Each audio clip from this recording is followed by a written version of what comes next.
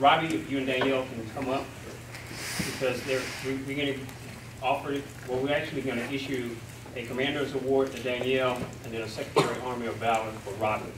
So, let's go back to December 29th, 2016.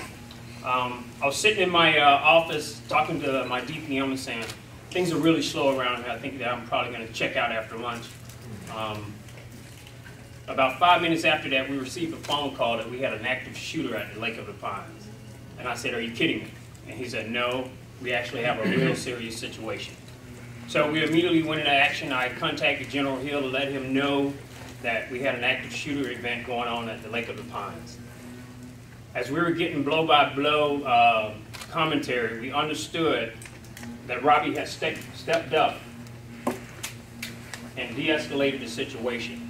There was a guy came into the uh, lake office and he was complaining about the facilities and also about the possible closure of, of the lakes where he wanted to fish that afternoon.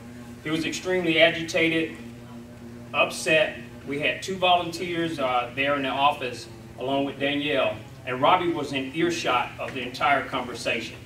So his, his training of over 30 years actually just kicked in and he knew that this guy was going to be more of a problem.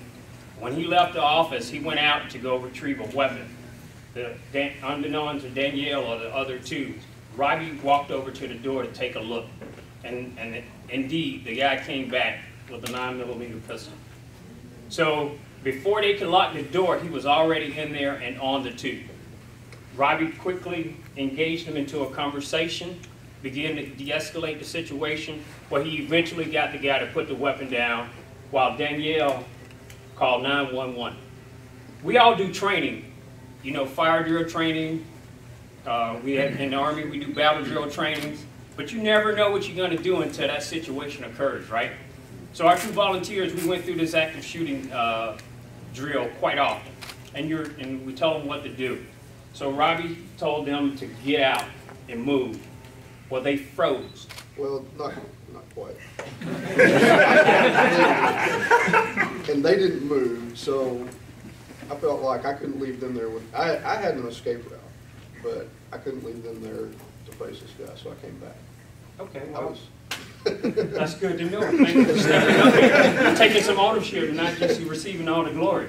no, So he de-escalated the situation. Danielle uh, alerted the uh, 911 and they came in and they arrested the gentleman.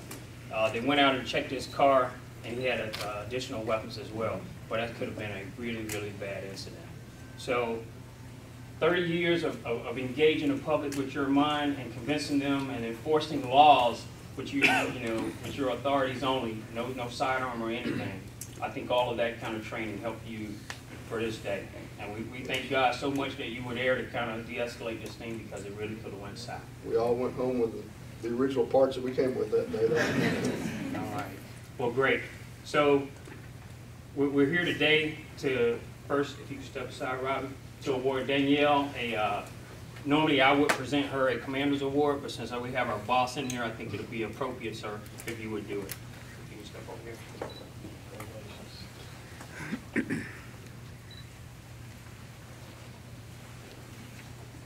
For her superior actions in the line of duty at the U.S. Army Corps of Engineers Operations Division, Piney Woods Region, Lake O' the Pines Project Office during an incident with a disgruntled and armed member of the public on 29 December 2016. During this terrifying event, Ms. George showed great courage and professionalism in executing the proper response under armed threat by locking her door, alerting other staff, and calling 911. As a result of Ms. George's outstanding actions, authorities quickly arrived to subdue the individual, no one was injured, and lives were potentially saved.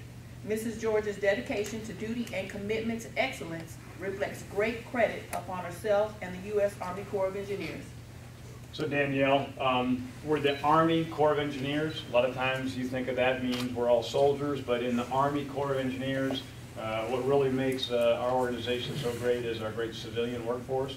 And in the Army, we kind of have an unwritten rule that we never leave anyone behind, okay? And we all stay as a team. And no matter what happens, good or bad, we're going to stand together, whether that's the Fort Worth District or whether it's the team out there in that office. And that particular day, people could have done different things. People could have left, people could have left and gone and only worried about themselves. But the fact that you and Robbie really stepped up together and you made that critical call, when you could have been nervous as can be and just froze, um, we want to be able to recognize uh, you for your great service and just to continue to reinforce that um, when you have that urge to do the right thing, it's always right. And just continue to step up. And sometimes you might want to, you know, uh, do something different. But here you did exactly what we expect you as a great civilian to do. Step up and take care of your team. Let's give Danielle a big round of applause.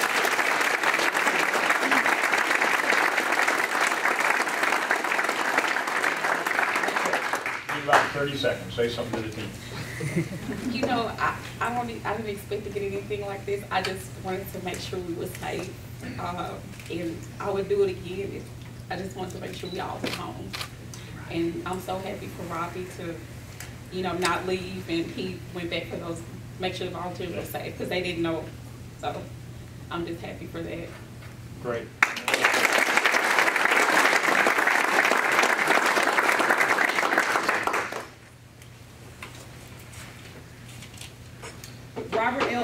Is awarded the Secretary of the Army Award for Valor for his heroic actions on 29 December 2016 while assigned as a Natural Resource Specialist, Lake O' the Pines Project Office, Fort Worth District, U.S. Army Corps of Engineers. Mr. Henderson demonstrated great courage and professionalism in dealing with an armed threat and potential active shooter situation. When the gunman entered the office, Mr. Henderson diverted the gunman's attention from two volunteer personnel by engaging him in conversation and calmly convincing him to put down his weapon. As a result of his actions, the individual was arrested without injury and no one was harmed. His strength of character and calm resolve under intense pressure exemplify the Army values of selfless service and personal courage. Mr. Henderson's fearless dedication to duty is a great credit to him, the Corps of Engineers, and the Department of the Army. You have, on behalf of all of us, uh, there's a lot of people that have a lot of awards hanging on your walls, okay? Very, very few, if any, are signed by the Secretary of the Army. I know the Secretary of the Army, Ryan McCarthy, and this is a big deal that he took the time to do this. You know, I'm afraid that in these days, we think of a hero as maybe somebody on TV, somebody that scores a big touchdown or scores a bunch of basketball goals, or somebody who's a movie star. And sometimes heroes are created in Hollywood, okay? Um, This hero is created in the Corps of Engineers, and this is a hero that doesn't sign up to do this normally, but you do what your nation needs you to do. And that particular day, again, you had a lot of choices. And without even thinking about it, if you thought about it, you probably would have said, well, this might not be a smart thing to do. You immediately said, If I had given, if I'd been given more time to think about it, yeah. it, it goes back to stepping up, and this individual um, was at least uh, the demeanor and the method of how you talked him through this allowed him to have some options. And it wasn't where, you know, uh, I'm going to try to tackle you. It's just, you know, you got to think through what you have ahead. And I'm not sure exactly what you said, but you gave enough of a option to him to say maybe he wants to continue to have some other choices in his life and be able to save both the people on your team and in essence be able to make sure that he was be able to come out of this without getting in a firefight somewhere. So uh, I can't thank you enough on behalf of the Secretary of the Army, everybody in the district here, and uh, just know that this is what we expect Corps of Engineer employees to do, uh, do the harder right, and to be able to make sure that when the challenges are there, that you step up and you tackle those challenges, and you do it in a manner which is befitting of not only a great Army civilian, but a great, uh, a great American and a great American hero. Let's give Robbie a big round of applause.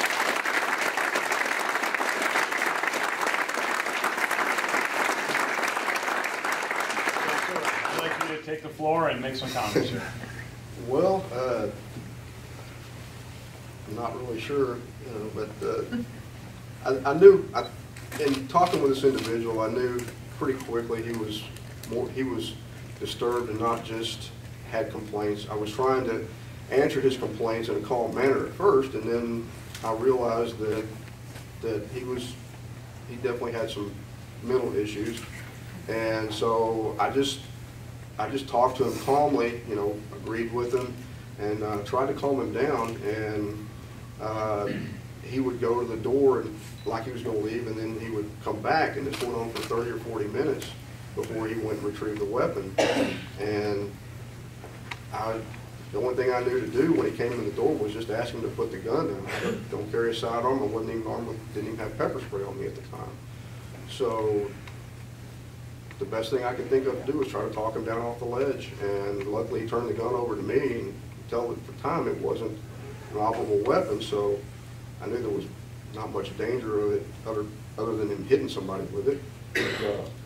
Uh, um, At that point, and I didn't know the 911 had been called at the time, but, uh, but at least, you know, we, we were able to calm him down, and so he was not, did not show any more aggression at that time. But course, when he was arrested, he tried to be, tried to be aggressive again, but by that time, they had him subdued, so. Anyway, I'm just thankful that everybody was, uh, nobody was hurt, and everybody was able to go home to their families that day. That was, that was my main goal in, in trying to, trying to uh, talk this individual down.